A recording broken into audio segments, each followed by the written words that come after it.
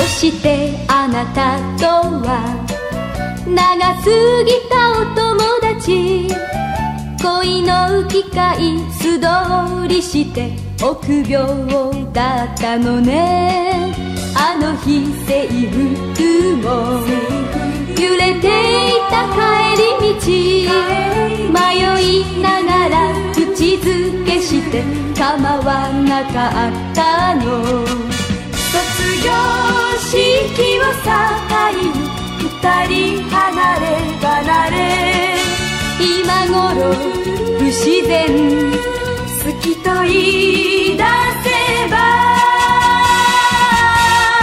軽く憧れにとどめたらこんなこと。私一人めくり終えた心のレンダー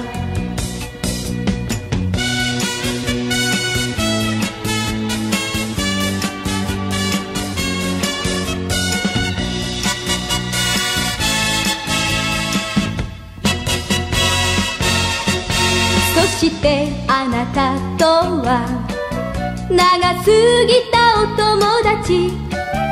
話し方もどこか兄と小さな妹ね。記念撮影で。触れてみた指の意味。他の人に気を奪われ通じなかったの。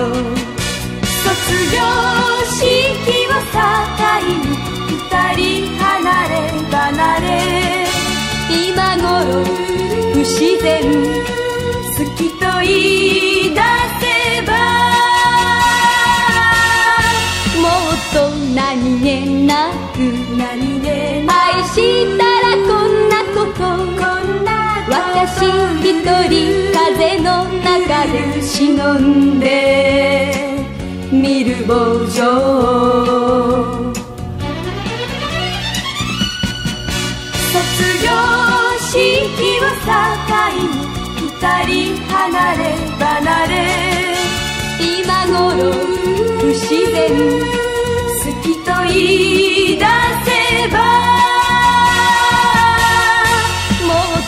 っと何気なく愛したらこんなこと私一人風の中で忍んで見る傍情